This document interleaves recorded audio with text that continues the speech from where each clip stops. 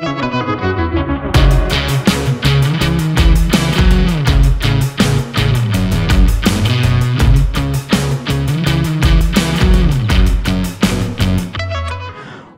going on, everybody? It's your host, Will Cooper, coming back for another episode of the HuntStand Podcast. On today's episode, we're going to be taking a slight break from the turkey action that we've been bringing y'all for the past couple of weeks, and we're going to be talking getting out, living your life, and loving it with Mr. Redbeard Outdoors, also known as Jonathan McCormick. Now, we're going to get John on here today to talk about some transformations that he's been through. We're going to talk about the 75 hard that he's been going through, live hard, and getting after it, getting into archery. And we're just going to talk hunting.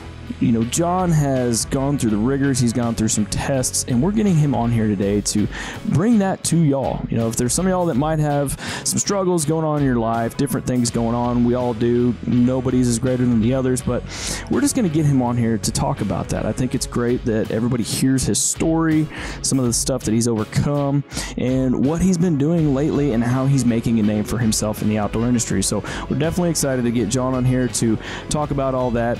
And we really appreciate y'all tuning into the HuntStand podcast. If you haven't yet, make sure you're subscribed to the podcast, rate and review for us. It greatly helps us out, and we really appreciate y'all doing that because y'all got a lot of other podcasts out there that you could be listening to. So we just want to say we appreciate y'all and all the listeners. If you're new to the podcast, make sure you go and do that and listen to some of the other stuff we've been doing. Also, if y'all can for us, head on over to our new YouTube channel. It's Field Notes Outdoors. We've got all of our hunting content that's going to be going up there, our HuntStand originals, and some other cool stuff that's going to be coming up this fall. So make sure y'all head on over there, subscribe, and if you haven't yet, head on over to either our website or the link in our Instagram bio. I'm also going to be putting it in the description below for y'all to check out. But we've got an awesome turkey hunting giveaway going on right now where we're giving away some awesome gear from some of our Posse Turkey Series sponsors, partners. But we've got a Savage Renegade shotgun. We've got an Alps turkey vest. We've got some TSS shells, and we've got a ton of stuff on there that y'all don't want to miss out on. That's going to be ending on May 31st. So make sure y'all go to the link in the description or the website or the link in our Instagram bio. But nonetheless, I'm going to quit rambling and I'm going to let Redbeard get to it. So once again, we just want to thank y'all for tuning in to the HuntStand podcast, and we hope you enjoy. All right, brother. Well, man, first and foremost, welcome to the HuntStand podcast. I really appreciate you taking the time. I know you've got a busy schedule with work and everything, so thanks for hopping on the podcast with me, man. I appreciate you reaching out and having me on. Yeah, man, absolutely. I mean, I really want to take the time on this podcast to dive into you, who you are. Let's talk about Redbeard Outdoors. You know, obviously, I think I kind of can tell where the name came from. but uh, I just want to dive into it, man, and I want to talk about your journey because I've, I've, followed you for quite a while now, um, and just kind of seen the the path that you've taken, and uh, I think it speaks volumes about who you are, what you do, and I think it's a story that needs to be shared. I appreciate that. It's uh, you know, it's been years in the making. I mean, pretty much my whole life. Uh, I've spent somewhat outdoors. I grew up in North Carolina. Um, for 18 years of my life, I was there, and it was basically Boy Scouts. Um, we'd go out and father son campouts. Uh, we'd do family camping trips. Uh, at one point, we had a trailer um, mm-hmm. that we would camp out of, but we've always done camping in the outdoors. Uh, and you know, I grew up just loving. I, am not a big fan of the beach necessarily for yeah. obvious reasons. I get sharks. a little scorched. no, I get a little scorched out there by the sun. See, it's sharks uh, for me, man. Sharks for me. Oh yeah, no, I'm not worried about the sharks. I'm more worried about the freaking the sun. Um, Shit, but but yeah, so I, I, I definitely loved and I grew up loving kind of the spring and fall mm-hmm. um, seasons just because they're not too hot, not too cold and uh, we'd always go up in the mountains. I love the Blue Ridge Parkway. If, if you guys haven't been out there when it's changing colors in the fall, yeah, there's nothing like it. There's absolutely nothing like it. Now, where where's this at? I, I forget. I meant meant to ask you where you're from. Yeah, so that this is in North Carolina where I grew up. Gotcha. Yeah, and uh, I know the Blue Ridge Parkway goes out of North Carolina as well, um, but it's along the Appalachian Mountains. Yeah, and uh, it's just it's it's beautiful. But they're a lot older than the Rockies, so they're a lot smaller. They'll probably look like foothills to a lot of people that mm-hmm. are uh, based out west. And so, um, but you know, I, I came out to you. I had never been west of the Mississippi. Um, been all up and down the East Coast, and uh, it's beautiful, very green, uh, humid. And then I came out west uh, to go to college for a year. I went to BYU out here in Utah. Okay. And I was the only school I applied to because I was going to serve a mission for the church. And a lot of schools where I grew up were kind of party schools, and I didn't want that influence before I went out and served a mission. Yeah. So got into BYU. Uh, didn't realize that that was a, a struggle to get in for most people. I Mhm. got lucky, I guess, and uh, fell in love with the mountains out here just by hiking a lot uh, in college. Went to Mexico for two years, came back and uh, and and married someone here in Utah. So I was kind of planted here. And uh, basically, what happened was I was on the verge of moving back to North Carolina or somewhere east because I missed the greenery. And Yeah. if you get stuck in the city here in the West, it, it seems pretty dry, um, almost like a concrete jungle. And I, I didn't like it. And so we were talking about moving out east. And then, um, who now is my best friend, um, but at the time I barely knew him. Uh, his name's Brent, and he just invited me. He was like, "Hey, you know, your wife says you're you love hiking and stuff. I'm going on a hunt. Do you want to go with me?" I said, "Sure." You know, and again, I, I grew up fishing. Didn't really get into hunting. I didn't like the tree stand slash elevated stand kind of hunting. That just Yeah. didn't seem seem fun to me. So uh, anyway, I went out with him, and he showed me what the mountains really had to provide out here. And ever since then, I, I've been hooked. Um, What y'all and that's go, kind of the start of my journey. what did y'all go chase after? Elk, white mule deer? What would y'all do? So that year was deer. Okay. Um, that year was deer, and then the next year, uh, so that was I hadn't put in for any tags or anything. I just Mhm. wanted to kind of fill things out. Uh, and he turned out to be a really great mentor. Um, and then the next year, I put in and didn't draw anything with rifle um, for deer, but I went out and he got an elk with a rifle. And um, I walked up on that animal, and that even more just kind of got the talons of the West and and being out here in the mountains just more dug into me Yeah. um, because elk are just I mean they're just amazing creatures. So uh, that that those first two years were pretty solid for me as far as I've always been kind of a gym rat. I love Mhm. uh, strength conditioning, uh, not so much nutrition. That's been more of a journey for me. That's a um, challenge, man. Uh, right? Hundred percent agree with that. Um, but the gym for me, you know, some people that's the hard part. For me, I'm like, dude, I gotta have my gym time in the morning. Mhm. Like that gets me started off right. And so training was no problem. Getting the nutrition down and then finding out more and more about gear. Uh, that was something for me that took me down and has taken me and has kept me down the rabbit hole of I just love messing with gear, getting good quality gear, uh, testing it out in the mountains, putting it to its limits, and um, and just enjoying that aspect of it as well. So all of that kind of combined uh, created what would be Redbeard Outdoors. yeah. Um, and then I guess the Instagram started a couple years ago. I was working in, in an office setting, Mhm. and uh, and I'd come back from my random day off during the week, and I'd show my coworkers these pictures that you know I just took my kids out hiking, or uh, you know we had a toddler and a baby, and I'd carry them, and, and they're like, "You did all this on your day off?" like, yeah. What do you guys do? Why You know, not? Right, exactly. I'm like, there's you do drive everywhere. You know, ten minutes here, you hit five different trailheads, Yeah. and uh, and they're like, well, on our days off, we just kind of sleep in and hang out. And I'm like, all right, maybe there's Cool. something to this, right? Yeah. And so I started posting about it. It kind of caught on. People seemed to not understand that kids aren't a burden, hmm but to you know enjoy the outdoors. You can go to the park with your kids. You can go on a little hike with them. Get them loving it at a young age. Yeah. So all of that, you know, started the Instagram. When did the, did the podcast start about the same time or Podcast actually started last year Okay. in June. Um, I had been mulling around with the idea. I actually thought about getting into YouTube, hmm um, but I carried my stepdad's big camera around uh, for one hunt, and I was like, nope. Not doing it, dude. It's tough, man. It is tough. Like I'm just down here in Texas, like trying to kill a turkey solo with one of the small mirrorless cameras, and that's challenging enough. And it's just like thinking about trying to do that up in the mountains. I was like, I'm the same you. I'm like, nope, not gonna do it. Yeah, it just didn't. The experience for me, like I, I was more worried about getting a good shot, the Yeah. bulkiness of the camera. For me, it wasn't for me. Like I love Mhm. the people that can tell a good story with pictures and videos, but I'm like, I've got my phone, and that's kind of the reality of who I am. I don't put filters on things. I don't edit things. Um, I just like to kind of show it raw. And uh, and I just take a ton of pictures of my kids, videos of my kids and family, us outdoors, just with my iPhone. And that's kind of what I post. I don't really edit a lot of stuff.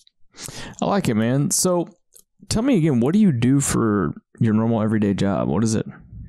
So in January, I started a new job. I work uh, inside sales for a tech company Okay. uh, that provides basically uh, all the DMS system for uh, RV, um, basically power sports, RV, uh, and marine sales. Got and it. I've gotten the area of North Carolina down to Florida over to Alabama. And you live in Um, Utah or North? Mhm. Yeah. What?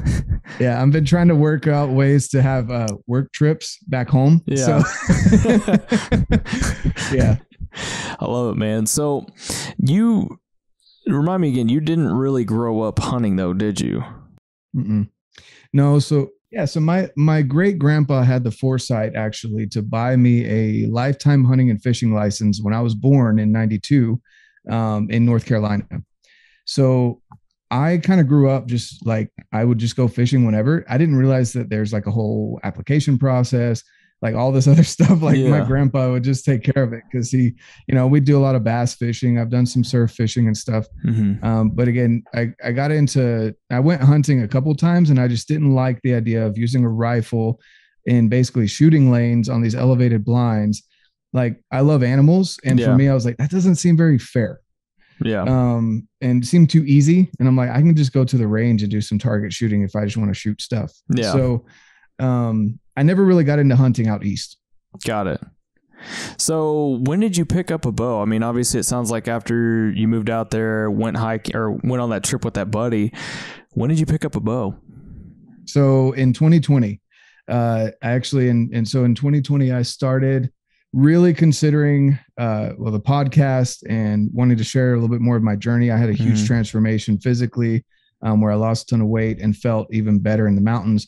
And a buddy of mine, my hesitation was I'm one of those people that's kind of all in or nothing Yeah. uh, when it comes to stuff like this. And so um, he had been the same guy that took me out hunting. He was like, man, you know, I don't really have an archery buddy. Like you would love this. You're into the Mhm. fitness. You love animals. You love getting close, the challenge, tinkering. That's your personality. You'd love it. And I, I was like, I know, but it's so expensive.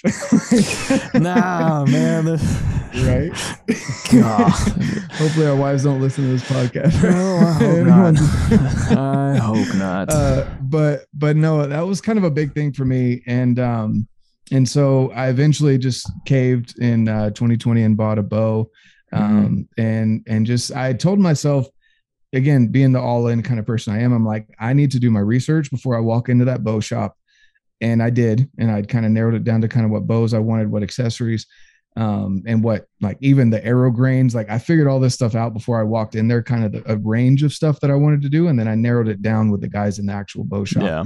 Um, and Wild Arrow is an amazing bow shop. Anyone out here Mm-hmm. in Utah, highly recommend that you go and check them out. But uh, they they walked me through the stuff. They put some bows in my hand. Um, let me shoot them, you know, eyes closed, how they feel. And I picked my first bow, and uh, and I told myself, if I buy this, if I put this investment in, I have to shoot at least an arrow a day. Period. No excuses.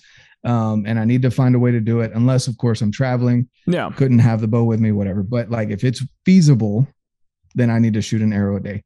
And uh and it within a couple months I'd already burned through the the strings that came stock on the bow. Um it- right. And the the the bow shop, they were, you know, they were like, wow, okay, you know, and Yeah. they we kind of talked a little bit more. And um anyway, I I just fell in love. Uh, I haven't Mhm. really shot my rifle in a long time um because I just I I love the tinkering you can do with bows, with arrows, with uh, all the accessories and everything like that. So Man, I think that's why so many people are drawn to archery hunting, and I think that's why we've seen such a huge growth just in Western hunting in general. Um, I mean, public land, putting a bow in your hand, tinkering. People can do it in their backyards. You don't have to go to a range to go Mhm. shoot. I mean, you can. There's ranges out there, but it's just it's almost easy. So, I mean, what what was your first bow that you got? So the first bow I got was the Hoyt Axius. Um, Yeah, yeah, it was a good was bow. just before. Yeah, it was the 29 and a half inch. Yep. Uh, it was just before they switched over to the the dual cam system. So they still had the yokes and everything. It was their last model for that. Um, it was a great bow. Uh, I got it to let's see, I got the 80 pounds because I was like, I got short arms. I want to have that, you know, again, going 80 down the rabbit hole. Yeah, yeah. Right. And so um, when I first got it, I was a little disappointed I couldn't draw it back. It came in hot at like 85 pounds um, out of the box. Yeah. And so I had him turn it down. And again, this was again part of my commitment. I was like, turn it down to 70 because they do the 70 to 80 pound limbs. Turn it down to 70, and then uh, I'll shoot it for two weeks. And I actually made myself shoot for, uh, I think it was uh, 30 or 40 arrows a day Mhm. for those first two weeks. Um, and man, my shoulder was so extremely sore and just tired and exhausted. Just wrecked. But I'm exactly, but I knew the technique and I had watched enough videos to know how to not actually screw up, whereas an injury, yeah. but I just was sore. And so then I went back and had him turn it back up um, after the soreness had gone away and I felt comfortable with it. And, uh, and I just kept it there. And, and again, reps every single day. Mhm. Um, now it doesn't feel like, doesn't feel like the 84 pounds that that one pulls back. Um, and then I just picked up another bow. So I had a crazy, crazy situation happen where, you know, I was listening to Dan elk shape and all that. Yep. He preaches, have a backup bow. And so I made it through uh, the majority of hunting season last year. And then right before, I want to say it was, yeah, so fall turkey and late season elk, because I didn't tag an elk in uh, in September. Mhm. Um, I was shooting at my my buddy's house, and my string snapped on me at full draw. I I don't I don't know. Was it frayed before? Like, uh no, it was in good condition. was it stock and so- strings? No, uh uh No, these were the these were top of the line from the company. I'm not going to mention the company because they did awesome uh, customer service and everything. It's not their fault. I don't know what happened, but um anyway, it was crazy. So I was at full draw and then you just hear this like snap and I was like, what the and I had something in my beard and and my buddy looks at me he's like, he's like, you got something right there. I pulled out as the D loop. So like it had literally snapped, unraveled from the D loop and the D loop was still in my beard. like it was the craziest scenario. So luckily, I, I had a good friend uh, that works at the bow shop. Again, just great customer service. He he actually provided like he had already done his hunting for the Mhm. season, I guess. Let me borrow his RX5, like brand new bow, and uh, just said, "Here, go take it to the rest of the season because we're backed up on getting your you know strings and everything tuned up." Yeah. So um, I used that to knock down a couple turkeys, and I took it out for uh, um, for late season elk. Didn't end up getting an elk, but anyway, long story short, yeah, it was a crazy scenario, but it convinced my wife that I needed another bow. Dude, I guess So- that's what I need to do. right um so i ended up picking up another one this year uh did the same process walked through shot it with my eyes closed um how the string angle felt and everything like that and i ended up with a mathews v3x 29 this year so That's So, money. yeah. That's money, dude. I'm shooting the V3 31 and I love it. Oh, yeah. I kind of want to go down. I'm going to deviate off my path a little bit here, but I want to talk about you getting into archery. Um, I feel like this is a topic that um, some people talk about, some people don't, but getting into archery for the first time can be pretty overwhelming with all the information, all the gear you got to get. And I love getting people in archery. In fact, uh, a buddy at the nutrition place here in town, I'm getting him into it. Um, But there's just so much to it. So I kind of want to hear from you. What was that like? Were you really intimidated when you first got into it, or what? What was that process like for you? yeah so again i'm i know i'm a strange individual in the fact that i'm very uh i love the research aspect of it Mhm. um i probably spent too much time on it if you ask my wife No such Uh, thing. right No such thing. well, well when she's sitting there trying to talk to me about something important she knows i'm not listening because i'm thinking about what i just thought about about a bow or watched on youtube or whatever i'd say that's probably a little too intense but um but yeah so so i i found it's hard to find good quality people that aren't just trying to sell you crap Yeah, on especially social media a hundred percent agree. I feel like some people's BS meters are are not as active. I feel like mine in in that aspect of knowing when I'm trying to be sold on something Yeah, uh, was pretty pretty good. So I ended up settling on. Um, there was a couple people that I really liked their reviews on bows and stuff. Uh, one of them was uh, Buffalo Creek Outdoors. He's a guy from my hometown. Well, not hometown, but my home state of North Carolina. Yep. Um, and then Inside Out Precision, uh, and also Elk Shape. Yeah. And you could tell, like Elk Shape is obviously sponsored, but Dan wasn't. He was like, you know, obviously I think Mathews are the best, but if you shoot another bow and that works for you, go for it, right? Like he has that attitude about things, and so following kind of their steps and, and especially his idea of always be tinkering um, I, I definitely dove down that rabbit hole Mm-hmm. and uh, and figured out again what bows would work best for me. Um, obviously, I want to have all the bows right for every single scenario, Same. uh, right? But you gotta have to find the one that works the best for you um, in what you're looking to do with the bow. So Yeah. if you wanted to go target, you're obviously not going to even look at the hunting bows and vice versa. So um, that's that's kind of for me like yes it, it's a lot to to look into and you don't want to feel dumb walking into an archery shop but also like i'm a big proponent of value exchange and so Mhm. If i walk into an archery shop and they're slam packed and i don't know anything about bows and i want to pick their brains for two hours on what they think it's probably not the best day to be there. exactly and i've had people that do that at again at this shop and they're like they come out with a bad experience i'm like but what did you were you asking good questions or were you just kind of going in and expecting them to hand everything to you Yeah. and so i recommend to anyone getting into archery don't feel intimidated but do your research ahead of time like Mhm. know how to ask good quality questions when you walk into an archery shop they respect you a ton and you don't know i mean some of these guys like i talk to them now they're up till one two in the morning and then they have to be back at the shop at nine the next day because they're so backed up on just tuning bows Yeah. and you want to sit there and waste their time for an hour you know how would you feel in that scenario I, yeah, I, I definitely know that because I used to work in a shop myself. So I, I would like what you're saying, like just on those busy days, like don't don't go in there expecting to get that full process because like when you're an archery tech and you have just a line full of people, the Mhm. last thing you want to have to I mean, this is probably bad to say for, for me to say this, but you know, the last thing that an archery tech wanna wants to have to do is when he's got just backed up full of customers is spending two hours, unless they have the manpower to do that, of course. And on top of that like you know be serious about like get the you can get the pricing online Yeah. right? It might be 50 or 100 dollars off but like you know the pricing of the bows that you're looking at. Don't go in there like with all those kind of silly questions um, but go in with maybe some educated questions like hey these are the animals that i'm looking to hunt. Um, i'm thinking this grain of arrow what do you think? You know and if you don't know what an arrow grain is or what the weight measurement is i just go look it up. I mean there's so many youtube videos out there and free information uh, that you can find. And again those are my top three resources that i've found.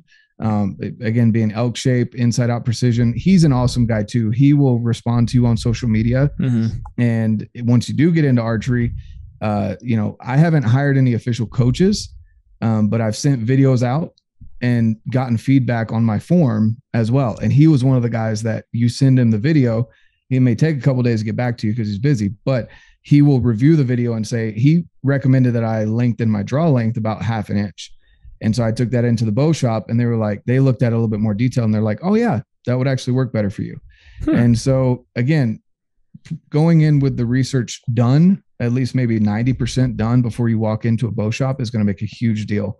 Um, I don't recommend going to big box stores No. just because, you know, they're going to hand you whatever's on the shelf. Yeah. Uh, you know, find a good pro shop around you. And again, support that local business uh, is another big thing too that I like to do. Yeah, hundred percent. And I would say the other thing is keeping an open mind. Um, Mhm. because I I can remember there was lots of times that guys would come in and they would just have their heads set on an 80 pound bow and they want to shoot a 650 grain 650 grain Lincoln log and it's like let's see if you can pull back on 65 first and they can't even do that so like going with an open mind and not having your expectations set too high hmm Exactly. Yeah. Yeah. It's funny talking to some people like, um, you know, out there in, in Oregon where Mhm. they work on Cam Hanes bows, you know, they get people, I didn't realize people from like North Carolina will call them and say, Hey, I want a dozen of whatever Cam Hanes shoots. what, uh, they're like, okay, well, what kind of poundage are you shooting? They're like, no, I just want a dozen of whatever he's shooting. Okay, what's your draw length so we can measure it out? I I don't know. Just give me what Kent. you know, like those are the kind of uneducated Jeez. things that's like it's cool to shoot what maybe your idol shoots, but uh, you know, again, do a little bit more research and know what mm-hmm. works best mm-hmm. for you. I can't shoot like I'm shooting my heaviest arrows right now that I've that I have shot to date. They're almost 500 grains. Yeah. Um, and they're still, you know, we were able to get it to where they're shooting out at about 280 mm-hmm. out of my bow. Um, but if you have a shorter draw length like me, I've got 27 and a half inches. Either you know get stronger so you can shoot You're a heavier only bow. 27 and a half. Yeah, I'm only five. I'm five nine and a half, five ten on a good day. So, dude, I'm not like I, I, haven't met you in person, but I'm not gonna lie. Like your Instagram portrays that you're like six four. Oh, I wish. I'm just gonna say it. Like, there's no way you're as short as Dan Staton. he's, I've got him by a couple inches. Okay? Do you really? no, he's, he's got some short arrows, dude. He's got some yeah. short arrows.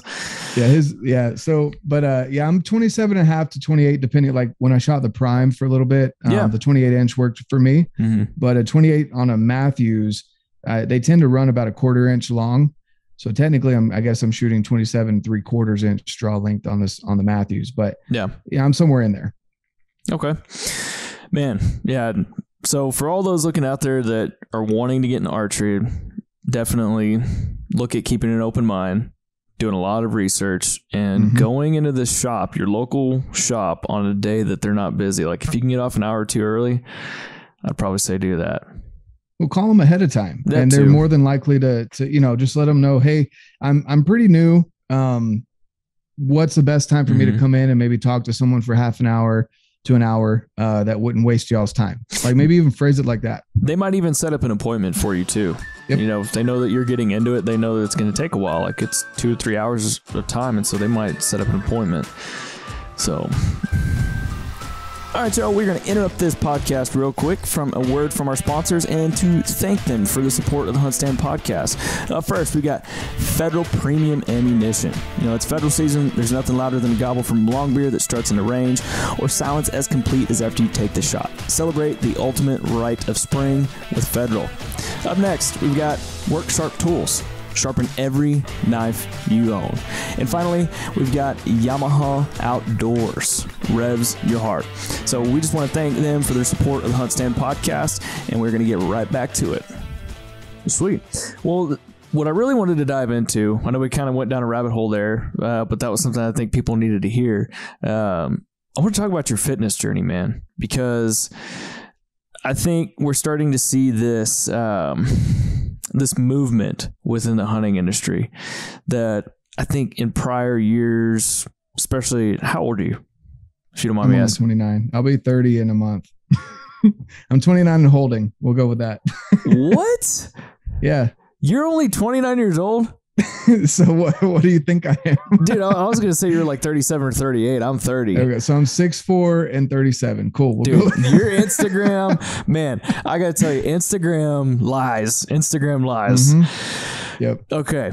So you remember the days like growing up, since we're about the same age, like hunting, it was just all about putting on thick, heavy camo, going and sitting in a tree blind, and dudes that probably weren't the fittest. Um, yep. And I love that we're seeing this this trend, this movement within our industry that people are wanting to be healthy. They're wanting to get in shape. They want to be able to go chase after game, go further, go harder, go longer. Um, I'm not trying to quote any other companies out there, but that's what people are wanting to do. And so, mm-hmm. let's talk about your fitness journey. I mean, it sounds like not only sounds like, but looks like. I mean, uh, on your Instagram, you lost a lot of weight, man. Like you did a hell of a job. So kudos to you for that. But when, at what point did you realize you needed to make a change?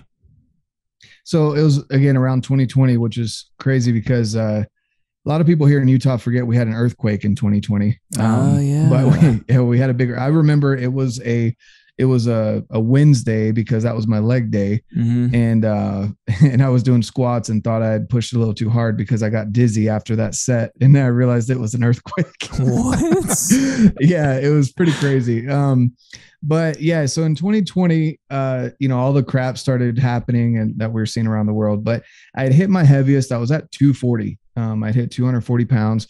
And uh, you know, between my kids hitting my stomach and saying I was fat, um, you know, eh, like I'd kind of lied to myself for a while, saying I was going into powerlifting, you know, Yeah. quote unquote. But like I was getting strong, Yeah. but outside yeah bulking but outside of outside of the gym outside of that hour that i wasn't working out my back was hurting my knees were hurting uh, you know clothes weren't fitting right i wasn't comfortable in my own skin um, you know I, I could make it up the mountain and stick with my buddies but i knew i was holding them back Yeah. um, and I, and i was going through a lot of pain that i didn't have to Mhm. um, uh, you know, I could just deal with it, and I was fine with that. But I'm like, man, I could I could experience so much more uh, by by losing this weight and then being able to pack another 40 pounds of elk out, you know.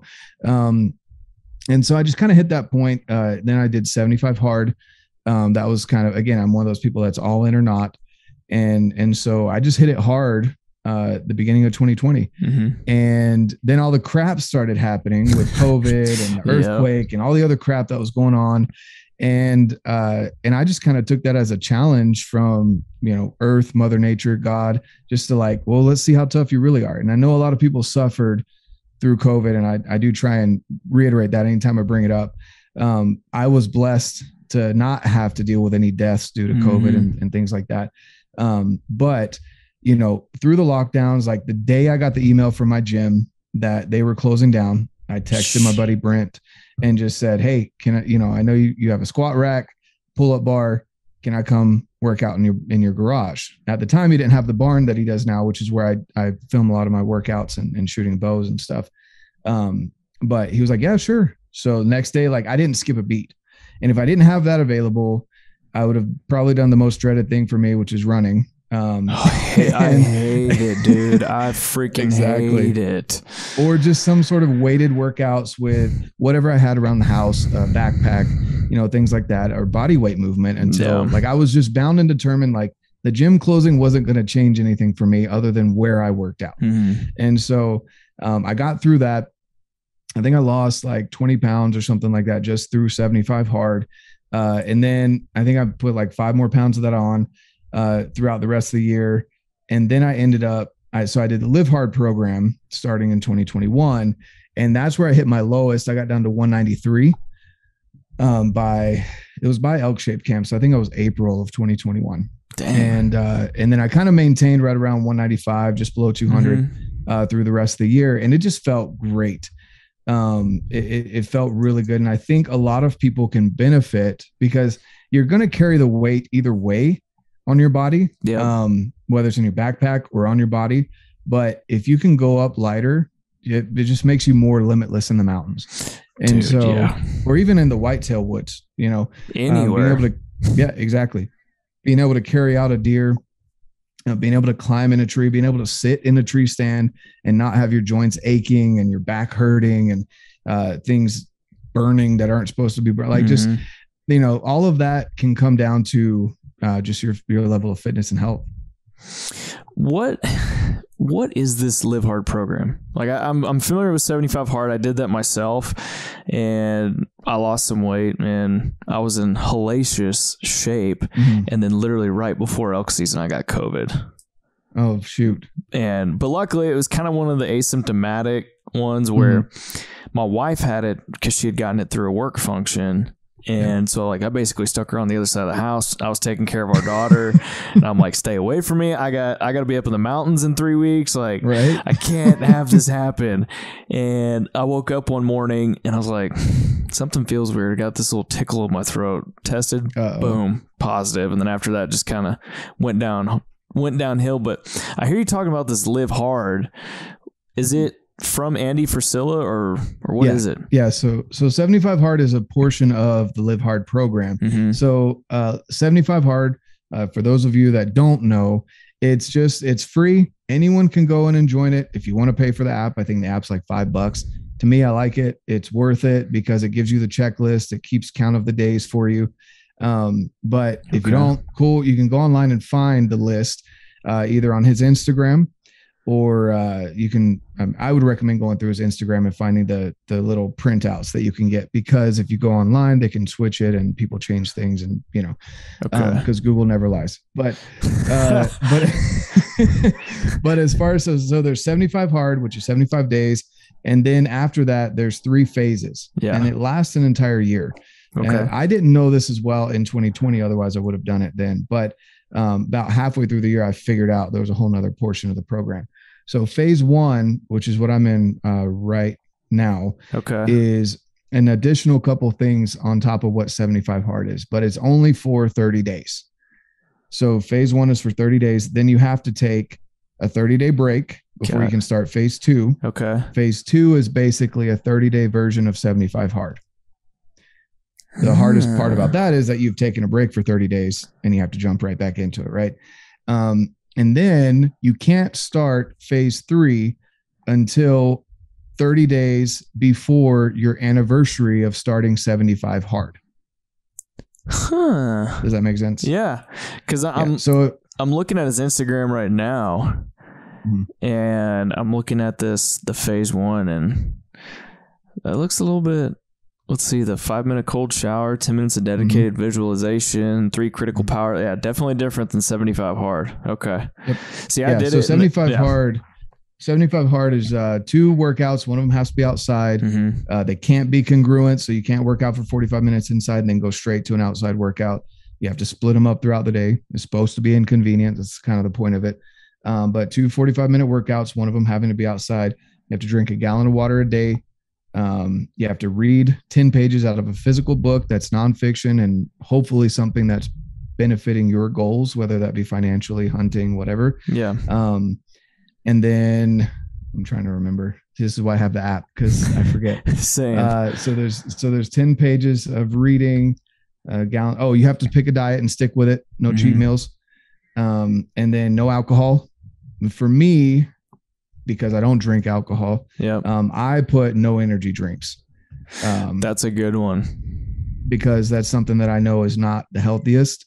Uh, and so I cut that out because alcohol is not a temptation for me. So, Mhm.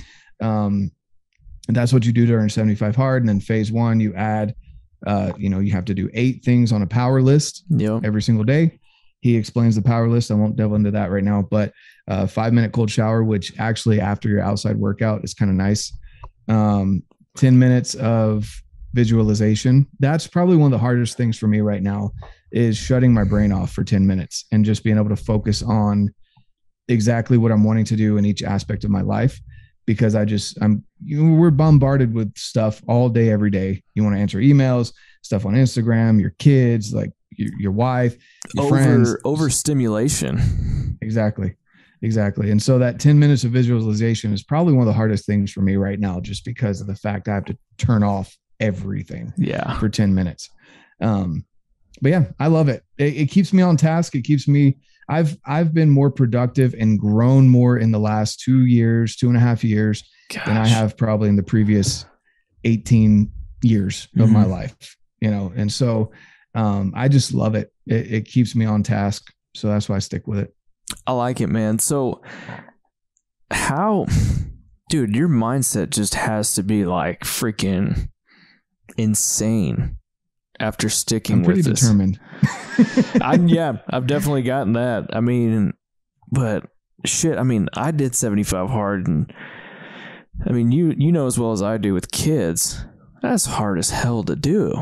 hmm Well, that's the thing. Get the kids involved. So, like my my outside Mhm. workout, I would generally wait um, until the kids were home from school, and we'd go to the park, and I would just run, jog, or ruck laps around the park while they're Mhm. playing. So they're getting their outside time, and I'm getting my outside workout in. Yep. Um, so just combining those things, uh, you know, it doesn't seem like there there were some, especially the first time I went around 75 hard, where like I would lay down to go to bed at like 11:30 at night, and then I'm like, oh shit. I still got my workout to do. My oh, wife's like, oh. really? And this was the first time I was doing it. So she didn't quite understand the whole program. So she's like, you're really going to go walk around. It's freaking raining at 1130 at night in the dark. I'm like, yep. Gonna and she's it. like, you're crazy.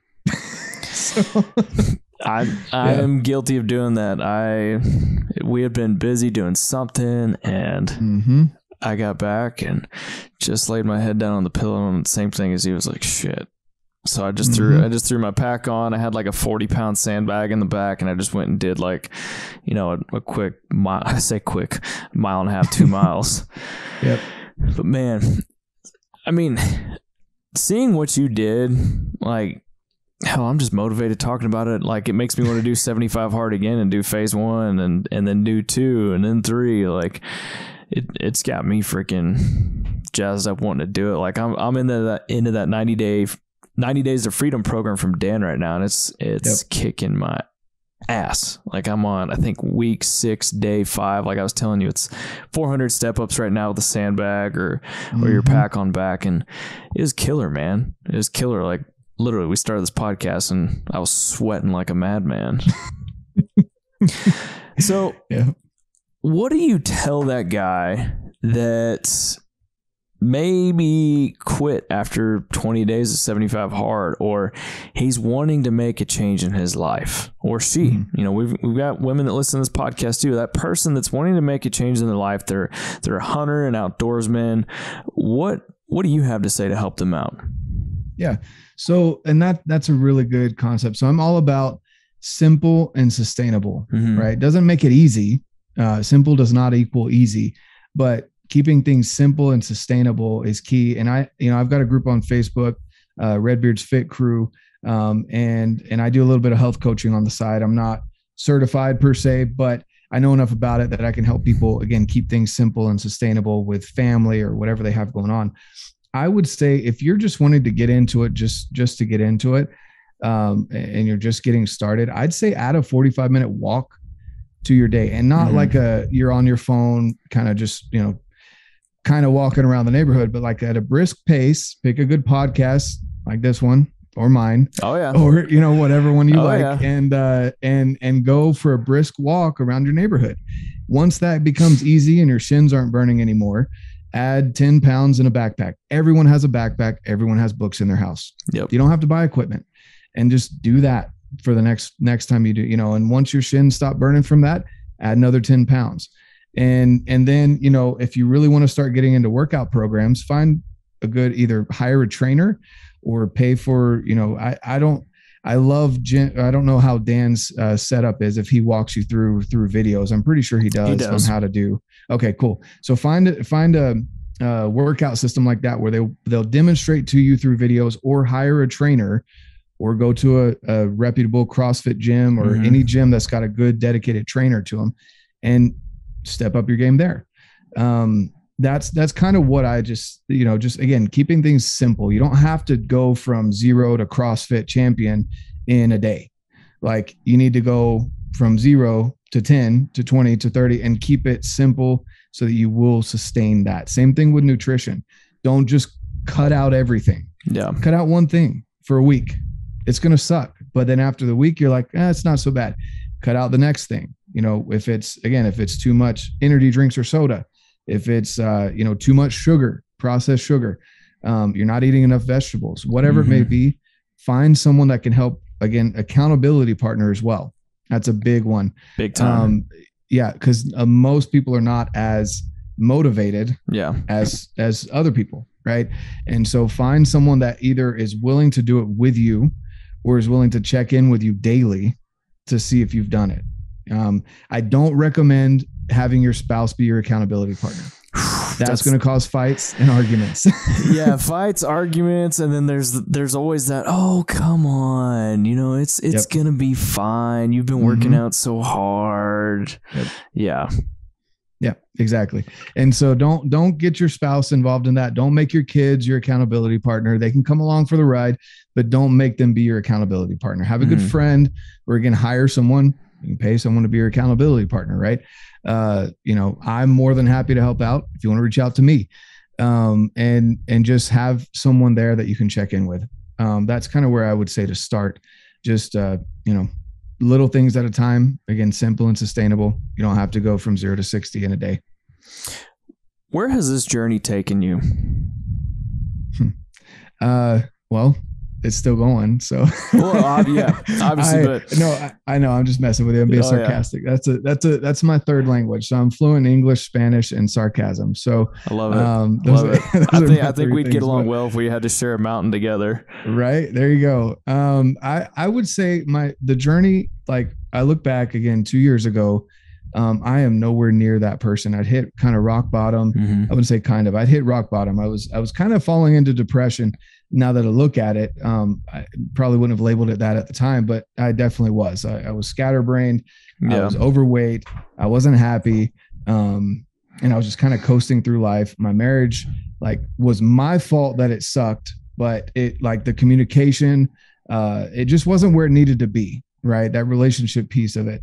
Um and and i, was- I was a dang good dad but that other than that and even then like looking at it i was good at being a dad in certain aspects but i obviously wasn't setting a good health example for my kids Mhm. and so um that journey has taken me to where i am now to where uh, you know I'm I'm a lot more organized. I've got a much better job. Um, you know, I'm very open and communicative with my wife about whether it be finances or uh, you know, I just plan things a lot better. Um, you know, I, I'm more productive in the fact that I can run a podcast, uh, my social media, the group, and have a full time job. I probably wouldn't have been able to do that before, right? I Mhm. just finished my MBA um, two, three weeks ago. very nice, man. um, Congrats. Yeah, so throw that in the mix there. Hell yeah. uh, and then uh, you know I've got kids. I've got five kids, and and um, and and they're all doing well. Um, you know, obviously, I I want the most for them as possible, but Mhm. uh, relative to their age, they're doing very well. And so um, I, that's where it's taken me so far, and where I see it going Mhm. is just like I- you know i don't i think there's endless possibilities. Um you know I, i'm getting to work with some amazing companies that i'm super stoked um to be starting to do some reviews for their their products and and things like that that i could have only imagined um two years Mhm. ago. And some of these companies i didn't even know about or even think it was in the realm of possibilities two years ago uh but just all of that to say um you know i take i try and take things one day at a time for that very reason because you can get overwhelmed by looking Yeah. forward and thinking what has to be accomplished and until you get into the mindset of thinking wow there's endless possibilities and that's okay as long as i put in the work Mhm. i just recommend doing things one day at a time one step at a time again simple and sustainable every 24 hours is a new set of 24 hours um, and, and just taking it one day at a time Man, hearing you say that, it's kind of funny um, that you say this because I came across. Yeah, are you on TikTok at all? uh, i've tried it i can't quite get on it So i mean i'm there but yeah it, yeah, it's it's definitely a different ball game. But I. I tend to my feed fills up with these kinds of videos, but there's all these videos that have the it it has a um, captions going across the screen that's it's some kind of motivational quote with some kind of badass video and music behind it and my feed just seems to fill up with it. And one of them that i heard today was actually um, you know if you get on an airplane you trust the pilot and you sit back and you relax. You get on a bus you trust the driver and you sit back and relax. And so it's kind of like why not do the same thing in life? And so hearing you talk about just take it 24 hours at a time just made me think of that exact quote. Yeah Yeah. it's uh and that's the thing for me too. Um you know i i used to my wife again i bring her up a lot but she laughs at me for for some things and she obviously gets a lot of the behind the scenes and uh and so she um she used to laugh at me because i used to listen to a lot especially when i was at my lowest i'd listen to et um Really? eric thomas i don't know if you've heard of him yeah i used to like i would replay his videos over and over and over again Mhm. to get me out of my funk, just to get me going in the day. Like that was almost like my crack to get me going in the day. smell ET. And, uh, yeah Right. Exactly. And so, and then from there, you know, she introduced my wife actually introduced me to Andy Frisella. and um and so it was you know between those two like i've come to a point where i realize that motivation is temporary is very much temporary. And after that you know it can only get you off the couch. Motivation won't get you to do things on a Mhm. consistent basis. And so like i post a quote every single day on the story just because i want someone just one person to see that and maybe to share it or maybe it'll motivate them to get off the couch that day and do something with their day. Now uh you know after that it's all about habit and determination if you're going to keep that going or not i don't Yeah. believe that motivation is anything more than temporary and just to get you off the couch Yeah, I agree. So, Man, I love it. I think, man, I think I think we had some really good stuff that we brought out tonight to bring to folks, and hopefully, you know, if somebody's out there that's listening that is in that low spot, they can kind of take what take what you've done and they can see what you've done. So and apply that to their life and make a change. So man it if people want to find out about you tell us real quick where we can find you on Instagram and then as well as your group. Yeah, no for sure. So on instagram i'm red.beard.outdoors um i guess some other people have red beard outdoors or whatever they're Mhm. not using it, but so it's red.beard.outdoors. And then, uh, you know, my podcast is Red Beard Outdoors. And then also my group uh, is the Red Beards Fit Crew. And I've got a lot of people I know they're being sarcastic or facetious, whatever, but um, they ask if you have to have a red beard. No, you don't have to have a red beard to be in it. Uh, it's my crew. Red Yeah. Beard kind of stuck after the first elk shaped camp Yep. like he knew my name but just stuck as redbeard and that's Mhm. just i've run with it so um yeah redbeard's fit crew i've got a bunch of people across the nation that some i know personally and some i've met on on uh, social media that are everyone's in a different phase of their life and it's it's again kind of an accountability group where they'll find someone that's either your same age or dealing with a similar situation that can help you um, i post things on there such as different uh, recipes and things uh, workouts that i do um, just to kind of get things going so that's where i'm at Man, I love it. Well, dude, I really appreciate you hopping on the podcast tonight. I, you know, if you kill some stuff this fall, especially some elk, we're gonna have to talk some hunting too. what do you mean if excuse me Hey, hey, I'm going on year three. I'm going on year three right now, man. So I'm hoping that my tag soup turns into a full buffet here before long. no this year's my year for elk man i, I ate tag soup over a couple of close encounters last year and i'm Dude, like same. no way no way this year's my year for elk but i at least get something down every single year so there's no Same. if it's just win It's yeah, no if when. Same thing here, man. Same thing. We'll love it. Well, brother, appreciate you hopping on the podcast. We'll have to do it again soon. cool definitely thank you so much for having me And there you have it, everybody. Another end to another HuntStand podcast episode. If you haven't yet, make sure you subscribe, review, and rate for us. It greatly helps us out. We really appreciate it. We just want to thank y'all for tuning in to this episode of the HuntStand podcast. We want to thank Redbeard, aka John McCormick, coming on and talking everything with us and just telling us his story, things he's been through, and things he's doing to be a better father, a better husband and a better man and learning about his background and how he's beginning to make a name for himself in the outdoor industry. But nonetheless, we just want to thank y'all again for tuning in to the HuntStand podcast, and we will see you on the next one.